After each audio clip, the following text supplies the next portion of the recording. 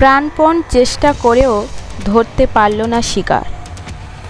সুন্দরবনের রয়্যাল বেঙ্গল টাইগারের ব্যর্থতা ফুটে উঠল এই ভিডিওর মাধ্যমে।